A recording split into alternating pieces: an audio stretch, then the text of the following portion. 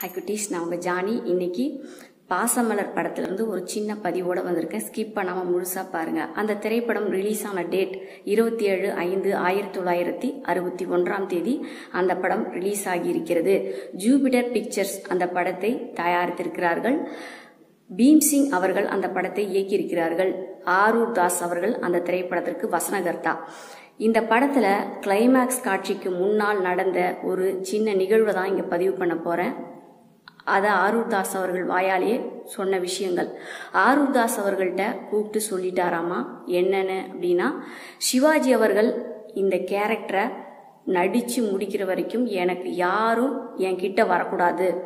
ஆரூர் தாசான தவிர வேற எவ- யாரும் கிட்ட வரக்கூடாது அப்படின்னு சொல்லி சொல்லியிருக்காரு. அது மட்டும் இல்லாமல் அவர் பதிவு பண்ண இன்னொரு விஷயம் என்ன அப்படின்னா சிவாஜி அவர்களும் சாவித்திரி அவர்களும் இந்த கதாபாத்திரத்தை உயிர் கொடுக்க வேண்டும் என்பதற்காக பத்து நாட்கள் வீட்டிலேயே சோகமாகவே உலவி இருக்கிறார்கள் அது மட்டும் இல்ல அந்த பாடல் மலர்ந்தும் மலராத அந்த பாடலில் நீங்க எல்லாருமே பார்த்துருக்கலாம். அவங்களுடைய கண்கள் அந்த பூஞ்சை பூத்து போய் அப்படியே ஒரு சோகமாவே ஒரு சோக உணர்வோடையே இருக்கிற மாதிரியான அந்த கண்களை காணும்போது நமக்கும் ஆட்டோமேட்டிக்காக சோகம் வந்துவிடும்.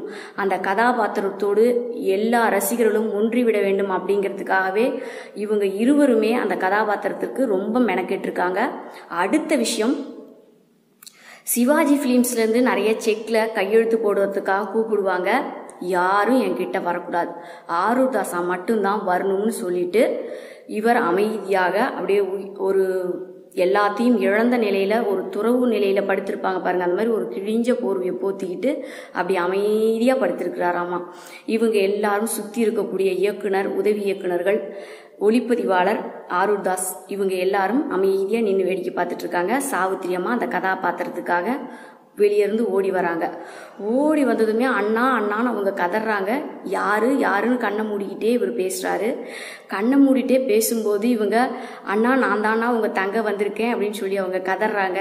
கதறும்போது எனக்கு கண்ணு தெரியலையேம்மா அப்படின்னு சொல்லி சொன்னதுமே அவங்க கதறாங்க. என்னன்னு சொல்லி கதறாங்க சாவித்திரியம்மா. எதிரிகளையும் வசீகரிக்கக்கூடிய வைரம் போன்ற விழிகள் எங்கே அண்ணா?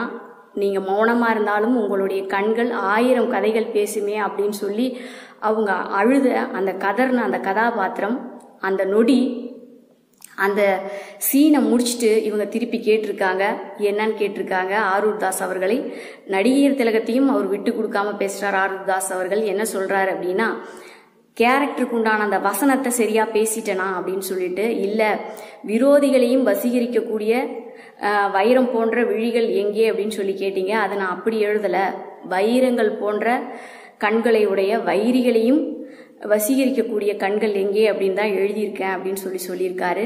அதற்கு பிறகு அந்த ஷாட்டை திரும்பவும் எடுக்கலாம் அப்படின்னு சொல்லி திரும்பவும் எடுத்திருக்கப்போவும் அந்த விரோதிகள்ன்ற வார்த்தை திரும்பவும் வந்ததால் அந்த முதல் ஷாட்டை விட ரெண்டாவது ஷாட் கொஞ்சம் நல்லா இல்லை அப்படிங்கிறதால அவங்க அந்த ஒரே- ஒரே ஷாட்டையே வச்சுக்கலாம் அப்படின்னு சொல்லிட்டாங்க. அது மட்டும் இல்லாமல் அந்த யூனிட்டே இவங்க நடிச்சிட்டு இருக்காங்க அப்படிங்கிறத அவங்களால உணர முடியுது. ஆனால் அந்த சீன் அவங்க நடிச்சிட்டு இருக்கும்போது எல்லார் கண்ணிலையும் தார தாரையாக க- தண்ணி ஊற்றிட்டே இருக்குது தண்ணி ஊற்றிட்டே இருக்குது அது மட்டும் இல்லாமல் அடுத்த சீன் வசனம் என்ன அப்படின்னா உனக்கு ஒரு வயசுமா? அம்மா அம்மான்னு அழுவ.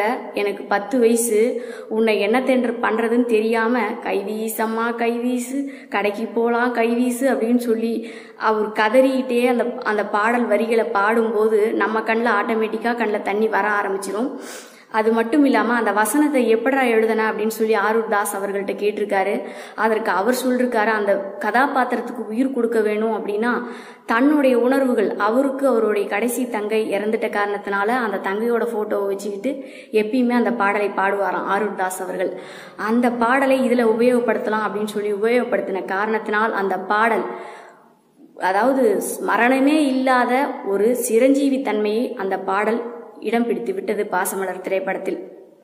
இப்படிப்பட்ட அந்த கதாபாத்திரத்திற்கு உயிர் கொடுப்பதற்காக உயிரையே கொடுத்து நடிச்சிருப்பாங்க திரு சிவாஜி கணேசன் அவர்களும் சாவித்ரி அம்மா அவர்களும். அது மட்டும் இல்லை அந்த ஜூபிடர் பிக்சர்ஸோட படத்தோட தயாரிப்பாளர் அவர் வந்து இந்த படத்தை வெளியிடுவதற்கு முன்னாலேயே இறந்திருக்கிறார். அதற்கு பிறகு அவர் இறந்த துக்கம் தாழாம அவருடைய மகளும் இறந்துட்டாங்க.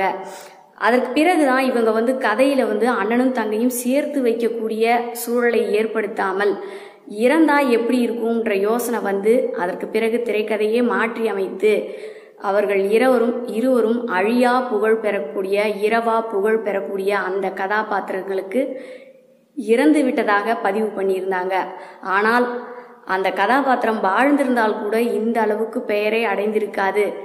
இறந்ததால் அவ்வளவு பெயர் இன்றைக்கும் பாசமலர் பாசமலர் என்று எல்லோரும் போற்றி கொண்டிருக்கக்கூடிய அந்த திரைப்படம். எனக்கு மிகப்பெரிய தாக்கத்தை ஏற்படுத்தி அதாவது அந்த பாடல் மலர்ந்தும் மலராத அந்த பாடல் நான் சின்ன வயசுல இருந்து அந்த பாடலை கேட்டிருக்கேன். ஒரு பஸ்ஸில் போயிட்டு இருக்கேன் அப்படின்னா அந்த பாடலாம் எங்கள் ஊர் கோட்டையிலேருந்து கள்ளக்குறிச்சி போகிறதுக்கு அந்த பாடல் தான் ஒரு தனியார் பஸ்ஸில் ஏறணும் அப்படின்னு ஆசைப்பட்டனா அந்த பாடல் தான் முதல்ல போடுவாங்க. அந்த பாடலை கேட்கும் போதே ஆட்டோமேட்டிக்காக நம்ம இதயம் மனசு எல்லாமே அந்த பாடலோடையே லைத்து விடும். அந்த அளவுக்கு அந்த பாடலுக்கு உயிர் கொடுத்த டிஎம்எஸ் அவர்கள். அந்த பாடலுக்கு வாயசத்து நடிப்பதற்காக இவ்வளவு மெனக்கெட்ட நடிகர் திலகத்திற்கும் நடிகர் திலகத்திற்கும் இரவா புகழ்பெற்ற அவர்களை பற்றி நான் இங்கே பதிவு பண்ண பதிவு பிடிச்சிருந்தா குட்டீஸ் தமிழ் ஸ்டோரி சேனலுக்கு சப்ஸ்கிரைப் பண்ணுங்கள் லைக் பண்ணுங்கள் ஷேர் பண்ணுங்கள் பாய் குட்டீஸ். பாய்